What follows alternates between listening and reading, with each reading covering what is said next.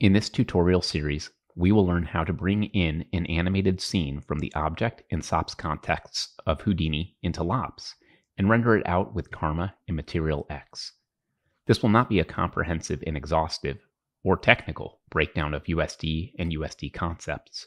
On the contrary, it is aimed at simplifying rendering in Houdini and demystifying rendering for artists working solo or in a small pipeline.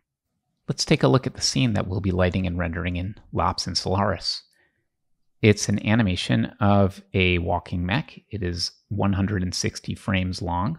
It's a bit slow on playback. Everything is cached, but there's some pretty heavy geo here in the frame. Uh, the sequence here is made up of several different objects, and they're divided here into sections. We've got our character, which is the mech. We have the environment, which consists of a terrain, mountain one, mountain two, and then an atmosphere here that we'll use for rendering.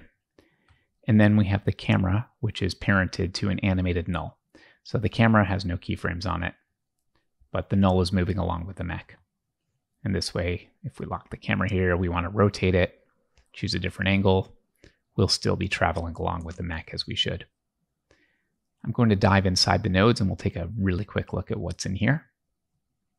So with the mech, I didn't include the actual rig and keyframe animation. Everything is baked down here for simplicity. And of course, to make sure that there's no issues uh, transporting the files. So what we have is the sequence of the animated mech. If I turn off this transform node, what you'll see is that it is just a static walking sequence here, a loop. And then we're doing a transform here to match him up in world space to his footsteps. We are calculating the motion blur here, the velocity, so that we'll use that to create motion blur inside LOPS. And we have a disabled colored node here. This will be used later for demonstration purposes. The mech rest pose is the actual bind pose for this mech. Uh, this is what it was rigged to. And we have colors assigned to all the various components of the geometry here, and that's going to be used for demonstration purposes later. The environments are all height fields. I've left the information in here for all of them. So we have the foreground one here, and you'll notice everything's been converted to geo. This is going to make it a lot easier to light, render, texture all of these rather than worrying about the height field conversions later in the process. Mountain 1 is here. There's a node network which I use to write all of the various uh, maps and masks to disk so that I could use them for texturing later. And if we kind of zoom out and look overhead at this one, we have a color attribute here going from white to black, which we'll be using later in the tutorials to blend this mountain into the terrain here and to blend it in to the background there as we need.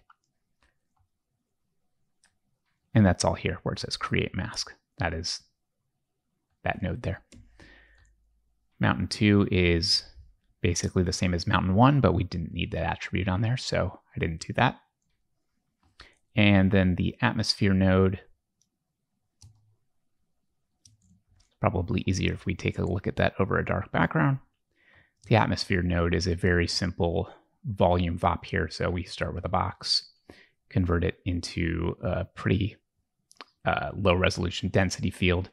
And then we're just using some bounding box information in here to create a gradient along the y vector there. And then a volume visual visualization so that we can have something nice in the viewport here that represents somewhat of what our final scene is going to look like. All right, so that is the walkthrough of the starter file. Now let's learn how to get this into LOPS.